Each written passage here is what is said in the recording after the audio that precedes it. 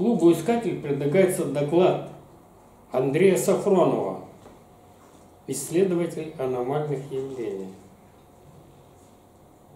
Доклад называется «Новая концепция души и духа», часть пятая.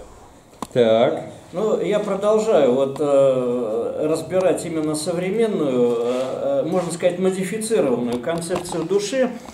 Э, вот, э, значит, в данной лекции я опять-таки буду разбирать не информационную составляющую души, не кодировки в основном, а, скажем так, материальные носители – вот, э, то, что иногда отождествляется с тонкими телами. Ну, то есть разные мнения в разных школах вот на данную проблему.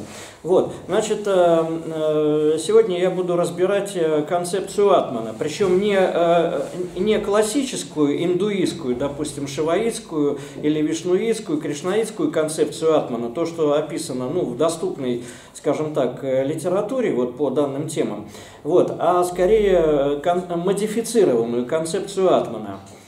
Значит, э, э, и скорее назовем э, это аналоги классических концепций Атмана. Итак, в структуру человека входит набор устойчивых тороидальных структур, соответственно расположенных с отрегулированными, обращаю внимание, с отрегулированными угловыми скоростями вращения – Раньше я говорил одинаковыми скоростями вращения, ну, по модулю, но в противоположные стороны. Но бывают и э, такие структуры, где э, скорости отрегулированы, но они разные.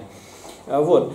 Значит, э, вот такие структуры, э, собственно, расположенные, вложенные друг в другу по принципу матрешек, там разной плотности, разных частот колебаний, по принципу квантовых уровней или ступенчатых переходов свойств с одного уровня на другой.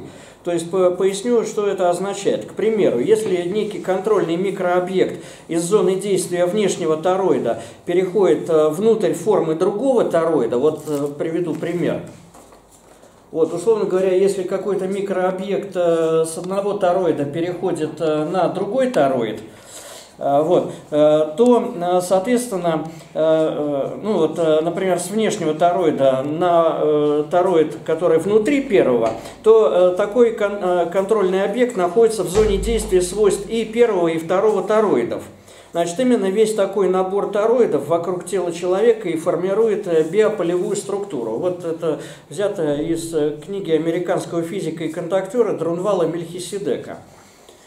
Вот. А теперь дальше. Важно следующее. В изначальном проекте человека э, значит, тороидальные вихревые э, структуры значит, э, были, скажем так, сформированы по принципу звездного тетраэдра. Опять-таки вот взятые из книг Дронвала Мельхиседека, вот два типа. Солнечный тетраэдр, значит, земной тетраэдр, вот, мужской тип и женский. Вот, выглядит это э, примерно так. Значит, если верхний тетраэдр острием вверх, э, э, значит, направлен острием вверх, есть нижний тетраэдр острием вниз. И они вращаются, э, причем э, в противофазе. Вот, грани э, каждого на основе равностороннего треугольника. Их совмещают друг с другом соосно по оси симметрии так, чтобы они давали именно центрально-симметричную, красивую, гармоничную фигуру. Вот это и называется, собственно говоря, звездный тетраэдр. А, вот. Понятно, что при вращении э, э, такие структуры образуют достаточно красивый яйцеобразный кокон вокруг тела, вот, на котором они находятся. Э, значит, э, э, теперь дальше. Эм, они, собственно, и составляют биополевую конструкцию поля человека. Значит, подробности вот этой темы я раскрывать сейчас не буду. Это описано в книгах Друнвала Мельхиседека «Тайная, значит, древняя тайна цветка жизни». Там первый и второй том. Там достаточно развернуто описана вот вся эта система. Вот, но дело вот в чем. Значит, это не единственный проект человека, Э, можно сказать, его структуры комплексной души. То есть были и другие проекты. Например, в некоторых проектах человека было по э, три, э, скажем, верхних значит, структуры и три нижних. Вот, они тоже выглядят в плоскостном срезе как треугольники, но вот пример шариянтры, но они расположены по-другому. И что важно, это плоскостная проекция объемной фигуры, но которая в основании имеет квадрат. Не равносторонний треугольник, а именно квадрат. Вот. И, э, соответственно, э, по вертикали они формируют э, именно равнобедренные треугольники, не равносторонние. Вот. И, значит, что интересно, значит, вот в системе Шриянтры Э, собственно говоря, для, ну, скажем, для непосвященных это выглядит как некий геометрический узор, э, но на самом деле, э, скажем так, для продвинутых йогов, то есть тем, кому эту информацию раскрывали, они должны не просто медитировать на центр такой фигуры, вот как на некий узор, а цель заключалась в том, что они должны мысленно представлять себе объемные фигуры, которые вращаются вокруг центральной оси. То есть вначале они медитируют на картинку, но потом они должны были мысленно представить э, себе вот такую объемную структуру вокруг своего тела и именно медитировать уже на себя и на вот такую вот объемную фигуру вокруг своего тела.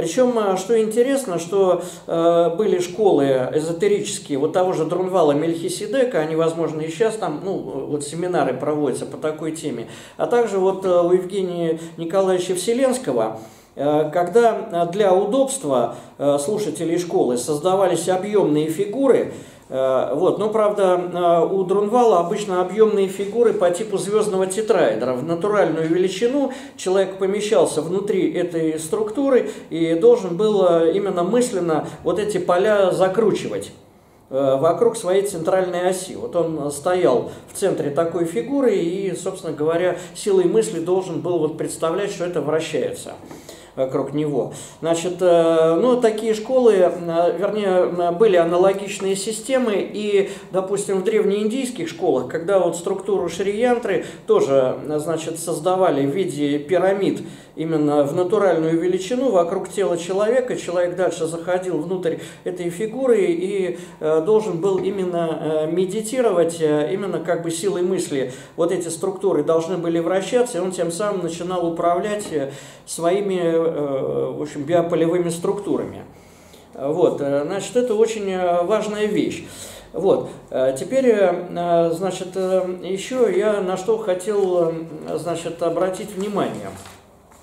Значит, вот в таких продвинутых ну, вот, вот это более продвинутая э, структура души, чем вот э, такая. Я бы так сказал, если брать первоначальный проект человека, то э, значит, у большинства людей именно вот, именно вот такая форма.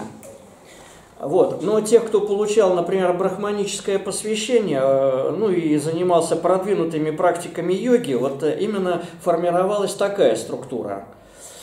Вот, э, значит, э, здесь есть, конечно, принципиальная разница. Да, я еще сразу хочу сказать, что в последнее время на Земле родилась масса людей, у которых, э, скажем так, не присутствует ни та, ни та структура, а там тороиды на основе других алгоритмов. Я сейчас этой темы касаться не буду. Я вот рассматриваю пока вот чисто классические проекты. Вот, значит, вот именно вот в таких продвинутых проектах комплексной души человека сформирован сделаны 17 управляющих контуров. Но 17 это если считать грубое физическое тело человека, то есть вообще так их 16 вот если именно то, тонкие э, поля, значит, их можно считать квантовыми уровнями. То есть э, там переход из одного контура в другой меняет качественные характеристики.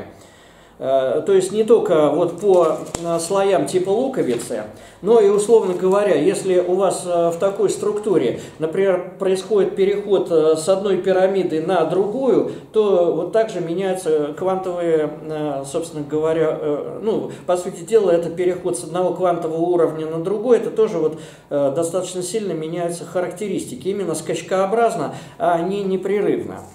Вот, теперь дальше. Значит, а сколько вот таких управляющих контуров, и вот я сейчас перечислю.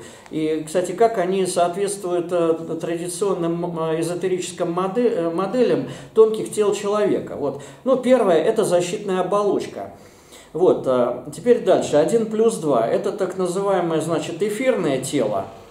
Вот, то есть тело по конфигурации напоминающее человеческое, вот, плюс наложенные на него и питающие его две тороидальные структуры – Э, значит, верхняя по часовой стрелке, нижняя против часовой стрелки, но это в классическом варианте. Сразу хочу сказать, что бывают некоторые люди с аномальными, э, скажем, полевыми структурами, у которых наоборот, верхняя, э, скажем, биополевая структура, вот, ну, на основе, допустим, звездного тетраэдра или даже вот, скажем, структур типа шариянтры может вращаться против часовой стрелки, а нижняя по часовой стрелке. Ну, такие отклонения тоже есть. Вот. Теперь дальше.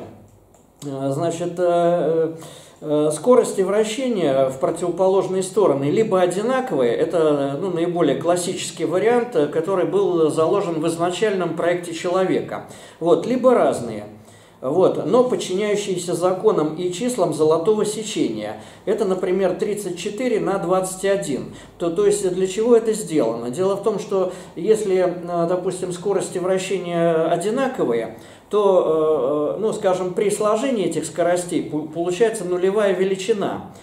Вот. А вот если, например, верхний тетраэдр или, допустим, верхняя пирамида вращается с большей скоростью, чем нижняя, то, соответственно, там преимущественно правосторонняя вращающаяся структура.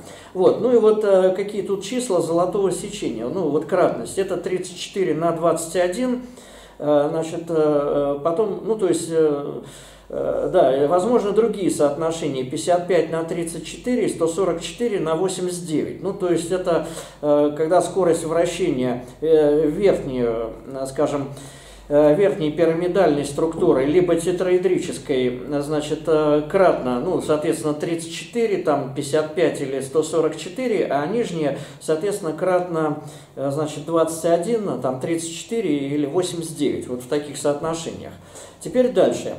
Значит, следующее, это три Э, треугольных э, структуры вверх и три треугольных структуры вниз, вот э, основание пирамиды, значит, ну, основание это квадрат, значит, это объемная структура на основе шариянтры. Вот именно ее, собственно говоря, и называют так называемое астральное или звездное тело. Собственно говоря, астрос по-гречески называется звезда, вот, то, то есть э, даже в ряде эзотерических школ, э, собственно говоря, э, вот такие структуры, значит, это не только астральные называются, еще иногда называют кристалл души. Вот, вот иногда вот попадается и такая терминология. Хотя зачастую многие люди, которые ну, сталкиваются с этой информацией, они ну, не понимают, как у души может быть кристалл, а вроде бы душа это совершенно другая структура. То есть, э, ну вот, э, объяснение достаточно простое.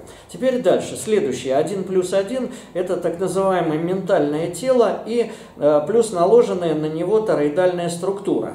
Причем здесь тоже, значит, как правило, тороидальная структура может быть на основе именно двух тороидов, которые вращаются в противофазе, верхний и нижний, и основаны тоже на алгоритмах от либо звездного тетраэдра, либо шари янтры. Вот, но только там э, чуть-чуть другие размеры. Вот. Э, ну, я сейчас более глубоко не буду, времени просто достаточно мало. Теперь дальше.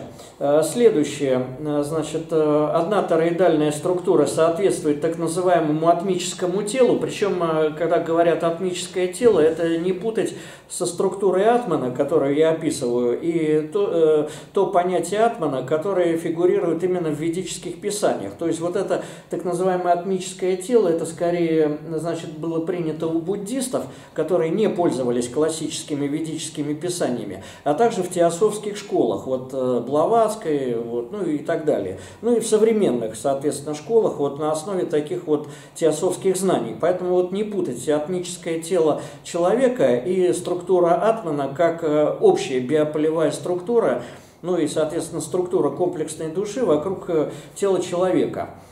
Вот, теперь дальше. Значит, следующий контур, значит, это тороидальная структура, которая соответствует так называемому будхиальному телу.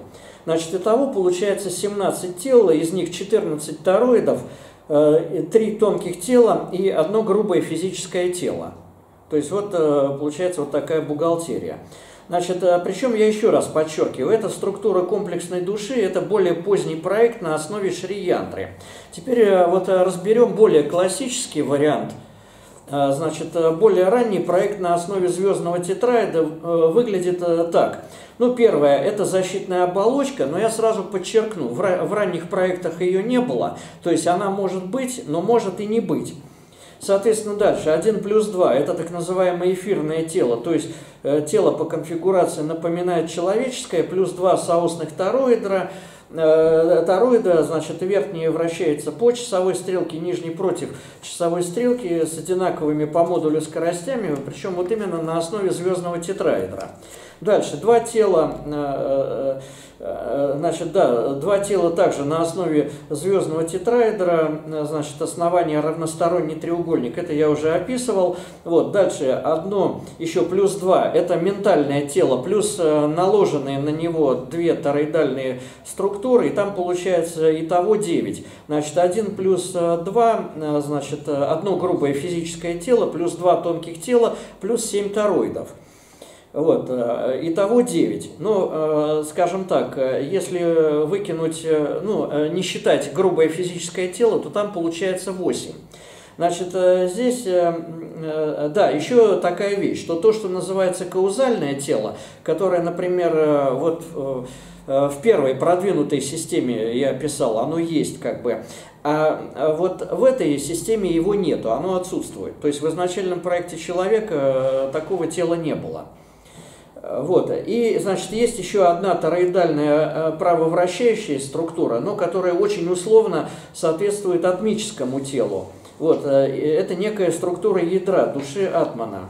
Вот. А высшее будхическое тело отсутствует. Значит, э, теперь... Что, нормально. Не, не, не да, значит, еще такая вещь. Вот а, когда я разбирался именно с количественными характеристиками, я вначале, а, ну, как бы вот думал, а, ошибся я или нет. Я позже до меня дошло, когда я догадался вот на Шриянтре посчитать количество управляющих контуров. То есть оказалась очень интересная вещь. Вот здесь 8 таких контуров, а здесь 16. Это со совпадает. Если не считать грубое физическое тело человека, то так и получается. То есть на самом деле вот это символ, как условно говоря, из обычного человека, ну, у которой старая классическая тороидальная структура, э, э, именно биополевая. Вот, как его превратить э, своего рода, ну, скажем, в человека с более продвинутой структурой, где именно 16 контуров управления – вот именно на основе шриянтры. То есть вот здесь э, как бы вот зашифрована даже вот э, в самом рисунке такая информация. А с книгой перемен как?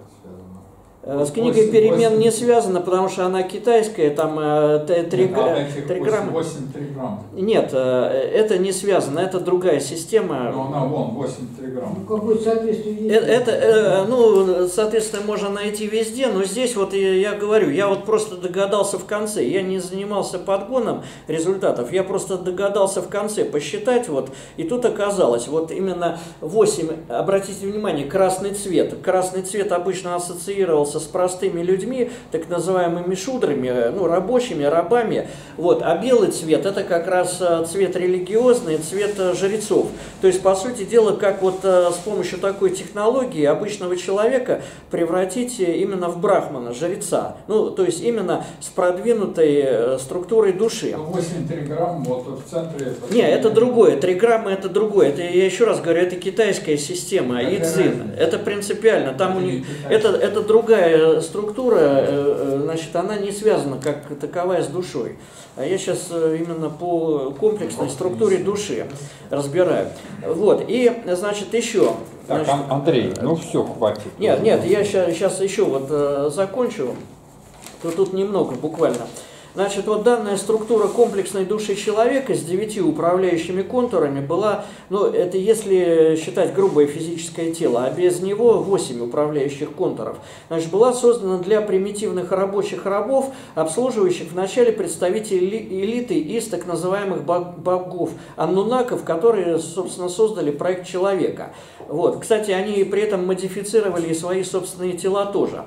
Вот. То есть тут э, э, весь смысл в том, что когда создавали расу рабов, они создавали, условно говоря, такой проект, который был бы им удобен. Они создавали ухудшенные, уменьшенные копии себя. Правда, потом ситуация менялась, то есть колониальная администрация анунаков на земле тоже менялась, когда в управленческую элиту уже входили не анунаки, а вначале гибриды, анунаков и людей, а потом уже и люди, ну уже как бы в чистом виде, но со следами анунаков, ну то есть э, в роду которых были анунаки. Собственно говоря, э, это многие, скажем, королевские династии, жреческие династии во многих э, регионах мира, причем, что важно, значит, их, ну скажем так, часто называли это солнечная династия, ну такое зашифрованное понятие.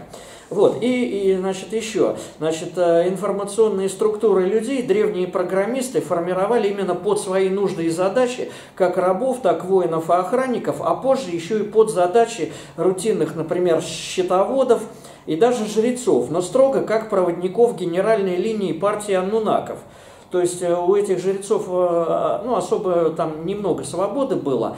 То есть у них задачи были такие, я приведу аналогию. Это, например, телефонист, принявший телефонограмму, обязан ее содержание точно передать по назначению. Или, например, еще в древности были гонцы, которые по памяти, без всяких письменных, э, допустим, документов, но по памяти обязаны были точно, без искажений, передать послание адресату, например, царю от военачальника.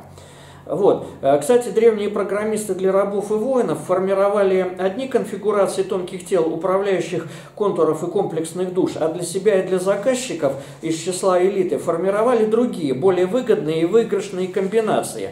Причем вплоть до экспериментов по созданию бессмертных видов материи и тонких тел. Правда, это не очень удачные эксперименты, но тем не менее, как бы уже у людей формировались неравные стартовые возможности – вот, ну и я вот сейчас э, заканчиваю. Там, итак, э, значит, 9 управляющих контуров для примитивных рабов, шудры, 11, это 9 плюс 2 э, значит, тонких тел. Это для относительно свободных ремесленников, крестьян и торговцев, но скорее коммуникаторов. Это функции Вайшью, хотя там перепутали функции крестьян и функции торговцев.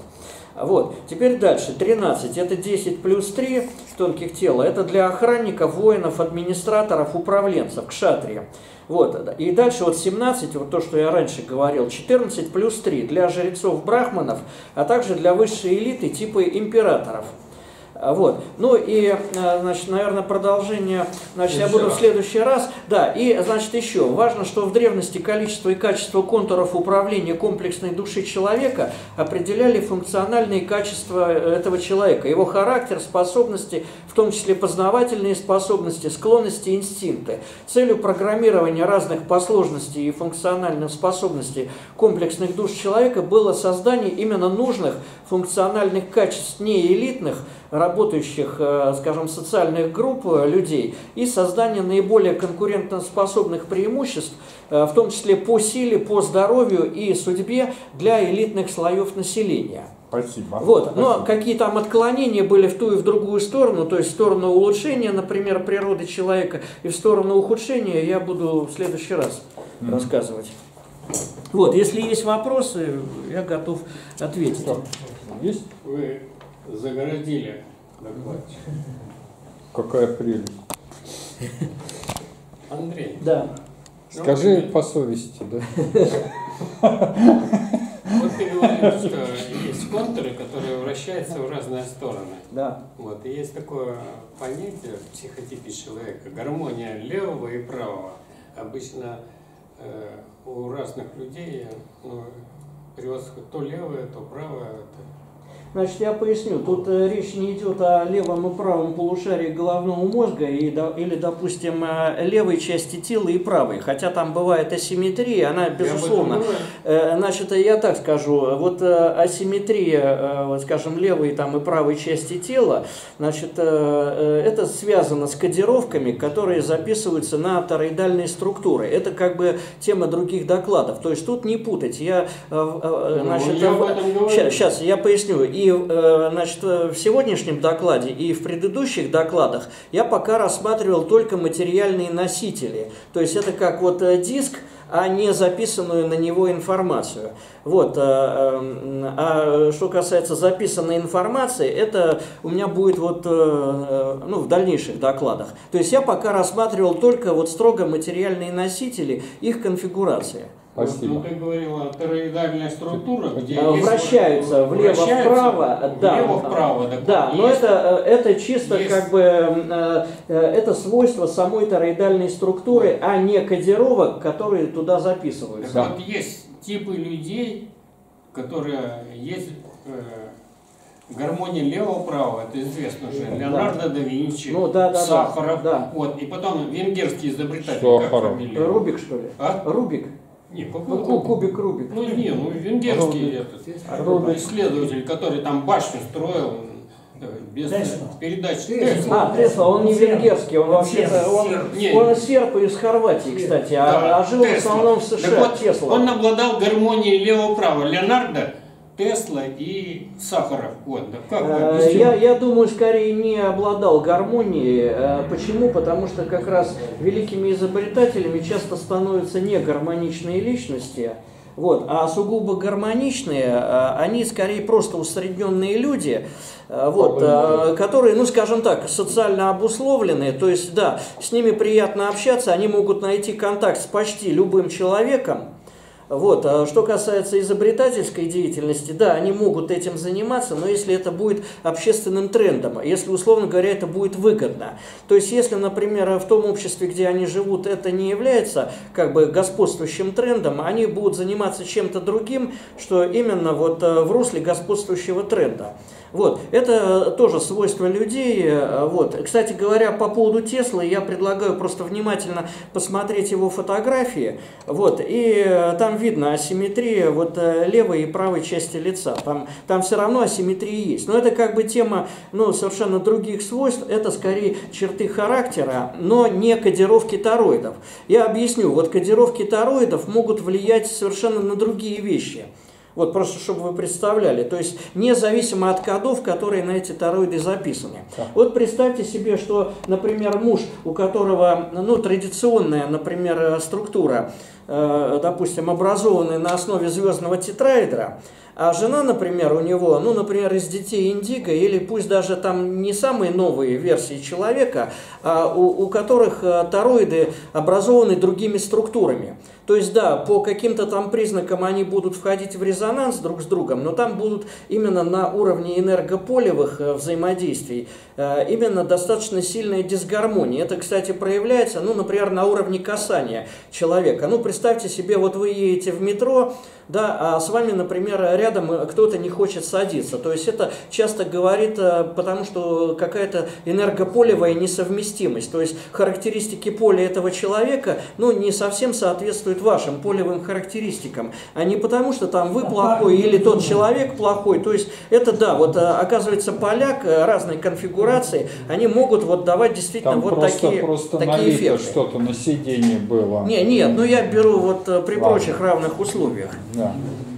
Ну, да, да, я тоже одно пожелание сделаю. Э, Если, ну, пожелание такое, если можно, там как бы хорошо было бы это нарисовать, потому что вот эти контуры, Да, я- я- я- я ну, понял. хотя бы рукописно, вот. э, Я, вот, я понял. Значит, да. э, тут возражение такое. Вот, э, вот этот набор иллюстраций, это вот, э, скажем так, прежде чем читать доклад на такую тему, чтобы меня потом в дальнейшем не постигла судьба там некоторых уфологов, исследователей аномальных явлений, значит, э, э, ну, скажем так, таких как Вадим Чернобров или там других, значит, э, прежде чем что-то делать, в том числе и информацию какую-то давать, я, э, значит, получаю определенную санкцию свыше, именно через религиозный ключ, э, и причем подтверждение во снах. Значит, мне разрешено использовать только вот такие иллюстрации, то есть ничего самому не рисовать, не дорисовывать, использовать то, что было в других книгах, в других источниках.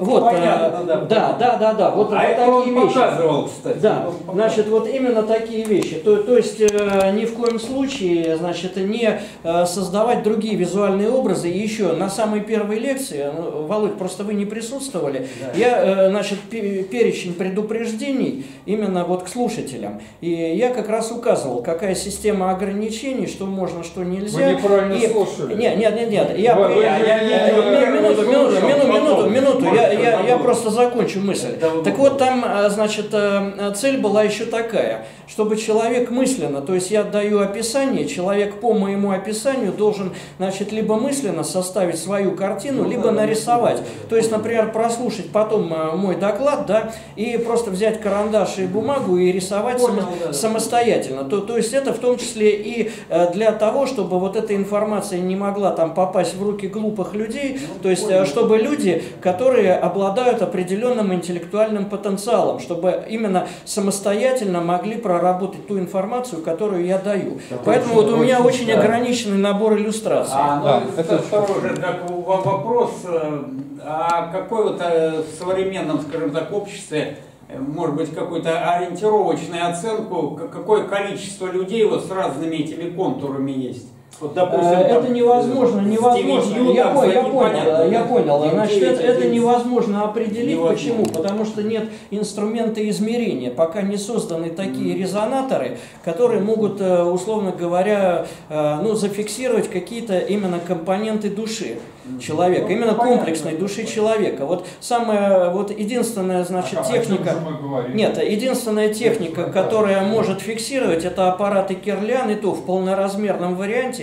Я на некоторых прошлых лекциях это говорил, но они не фиксируют именно все структуры. Вот, значит, Понятно, это умозрительная модель. нет, это не совсем умозрительное, а основанное... Так, э, мину- ми- всё, Минуту, я всё, заканчиваю. Значит, это... Ну, Модель основана на контактерской информации э, Вселенского Е- Евгения Николаевича, а также Друнвала Мельхиседека. Вот, то, то есть как бы вот... э, Ну, я, я это имел в виду, это и есть умозрительность. Андрей, ну ты А? Шудры нельзя сделать брахману, только родиться в среде можно э, не совсем понял вопрос, еще раз. Ты сказал, что из шудры, Нельзя чтобы сделать брахману, вот эти. А, Как сделать а, как, как сделать? Да, да, Объясняю. да. Значит, для этого, для, для этого Берется я понял, я шудра. понял, я- нет, я понял. Значит, а, нет, вопрос хороший, хоть и не четко сформулирован. Дело в том, что, э, собственно говоря, э, в древних культурах, например, в Индии, э, значит, если гуру, который имеет соответствующие полномочия, он давал посвящение. Правда, обычно практика была, что, например, в брахманы посвящали воинов, кшатриев, но бывали ситуации, то есть у них, например, некоторые структуры чисто элитарные были, которые, ну, где высоко ценился статус человека, то есть, понятно, низкостатусных людей близко не подпускали. Даже там, например, э, тех же вайшью, да, торговцев, ну, у которых там куча денег. Но, например, в элитные круги не пускали. Но там же были в индуистских системах и универсальные системы. То есть, например, когда Брахман, э, который именно имел соответствующие полномочия, вот, э, имел э, канал ясновидения, он видел, что этот ребенок, может быть, родился в семье Шудера, но у него потенциал именно Брахмана. Вот, и он, например, мог договориться с родителями этого ребенка и дать ему соответствующее посвящение. И дальше этот э, ребенок получал с- э, систему посвящений и становился сам брахманом. То есть такие переходы, вот такой духовный карьерный рост тоже наблюдался именно в истории Индии и, кстати, и сейчас тоже наблюдается. Так, Андрей. Вот, ну это, да, да, я думаю, лучше я в следующие разы, так сказать, Это, конечно, лучше. расскажу. Иногда лучше. По этим В следующий раз и Андрей, ну аппарат-то есть у нас самих. Третий глаз. Ну, аппараты есть, Ну, третий у нас глаз. нет. Нет, они просто по-разному работают. Я еще раз говорю, разные контуры управления.